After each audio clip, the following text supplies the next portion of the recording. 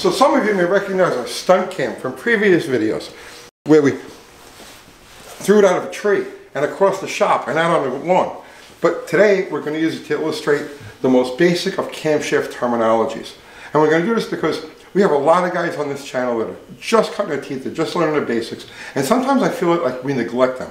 So okay, let's do something to give you guys uh, all the, the basic things you need to know about a cam. And then you can take that information and figure out how to tailor yours best, right? So uh, let's start with this. Let's start with the most basic thing, the lobes. All right, so the lobe is broken up into three sections. You've got the base circle. When the lifter is on the base circle, the valve is completely closed. You've got the nose. When the lifter is on the nose, the valve is completely open. And then in between, you've got the ramps. And the ramps are what separate the different types of camshafts. Generally speaking, a hydraulic cam is going to have the least aggressive ramp. A solid cam, because you don't have to worry about the hydraulic cushioning or, or, or the, the lifter being collapsed, can have a more aggressive ramp. Get the valve open quicker and closed quicker. And then a roller, because the roller can follow the contour of the lobe that much closer, can have the most aggressive ramp.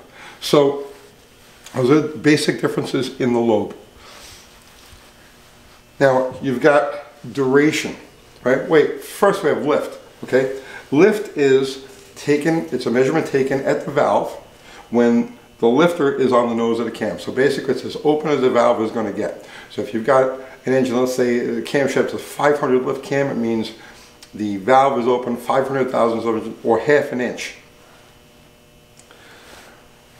That number is given, when, when you order a cam, that number is given based on the stock rocker ratio of your engine. So let's say you've got an engine with 1.5 rockers, that 500 lift is the lobe lift of the cam plus or times the rocker ratio is the total lift. And then you've got duration. Duration is given in two different ways. There's advertised duration and there's duration at 50. So advertised duration is the instant that the lifter comes off the base circle and onto the ramp until she follows all the way across the lobe and the lifter settles back onto the base circle. That's advertised duration. And then there's duration at 50, which is a more common number. In fact, some manufacturers don't even give you the advertised duration numbers anymore. They just go duration at 50. And that number is taken from after the lifter has left the base circle and the, and the valve is cracked open 50 thousandths of an inch until the cycle is complete and just before the lifter returns to the base circle. And again, the valve's at 50 thousandths of an inch. And they do this because different types of camshafts have different clearance ramps. Like for instance, a hydraulic cam has a very smooth clearance ramp. That's where the, that's the transition period or the transition area between the, the base circle and the ramp. A solid cam has a more aggressive clearance ramp. So those numbers are going to be a little bit different. And also because, I should say those numbers right off the base circle are going to be a little bit different.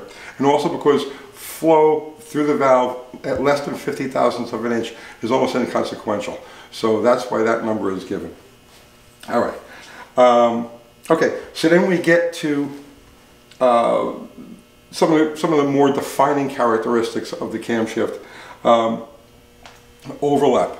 So now keep in mind, all of these measurements are given, all of these, all of these terms are with the number one piston, because all camshafts are all they're all spec'd off the number one cylinder.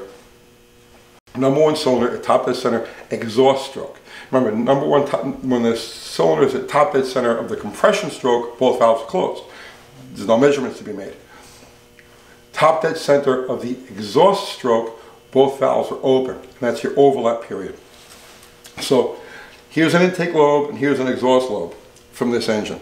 And that overlap period is when the uh, intake and the exhaust are both cracked off their seat.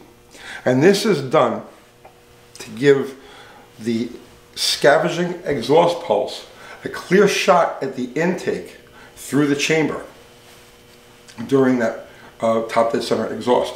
And this is to initiate the pull of the intake charge into the chamber before the piston starts on its way down and draws in the mixture that way.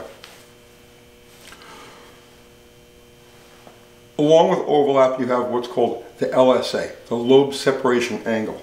So that's, if you look at these lobes, right, the closer they are together, right, the lower the LSA number, the further apart they are, higher the LSA number. And here's what you know, need to know about this. A lower LSA number uh, is, uh, that, those are your choppier cams. They have low vacuum at idle, lumpy idle, right? But they have extremely pronounced torque characteristics. Longer LSA numbers like 110, 112, 114, those are your smoother idle cams. Uh, they're more suited to daily driver type of cars with uh, power brakes and whatnot. But that's one of the really defining aspects of the camshaft's personality. And then you've got advanced and retard. So not all camshafts are ground symmetrically, but fact, most factory cams, most factory cams, uh, have that overlap split at top dead, at, at the top dead center point. So if the intake and the exhaust valve are open the same exact amount at top dead center. When you advance a cam, you're causing that overlap period to happen ahead of time. So basically, if you're going four degrees advance, it's four degrees in crankshaft degrees before the pistons hit, piston hits top dead center. If you're going to retard a cam, it's going to be the opposite. It's going to be after the piston leaves top dead center. And generally speaking, you advance a cam to increase bottom end power, and you retard a cam to increase top end power. So that's just one of those tuning variables. And when you order a cam, a lot of them have the advance uh, actually ground into the camshaft. When you put it in dot to dot, it'll already be like two degrees advanced, four degrees advanced. Uh, so that's it. But anyway, those are those are only those are your basic terms uh, and, and, and the hows and whys of camshaft. Now you'd have to do your own homework to figure out which setup is going to work, what, what dynamics are you looking for in your engine, and now it gets a little bit complicated. But I think if once you've got these terms out of the way, once you understand those basics, the voodoo kind of disappears a little bit and you can you know, make a, a, a good decision. So I think that's it. I'll see you tomorrow.